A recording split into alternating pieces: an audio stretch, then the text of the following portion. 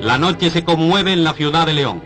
La catedral, joya del arte gótico, ha sufrido los efectos de un incendio producido por una chispa eléctrica que a pesar de los pararrayos prendió en la techumbre de la nave central. El siniestro fue sofocado por el parque de bomberos de la ciudad con la ayuda de los de las provincias limítrofes.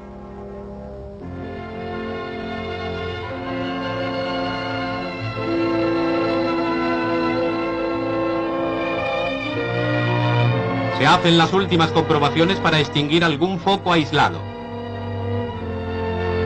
Los periodistas se informan detalladamente de lo ocurrido.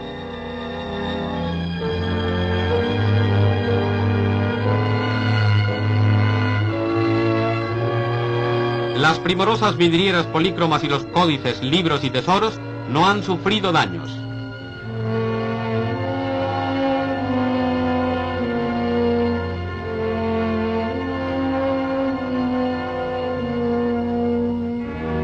Las pérdidas materiales son elevadas, pero este bello ejemplar del gótico sigue en pie, esbelto como cuando fue edificado en el siglo XII.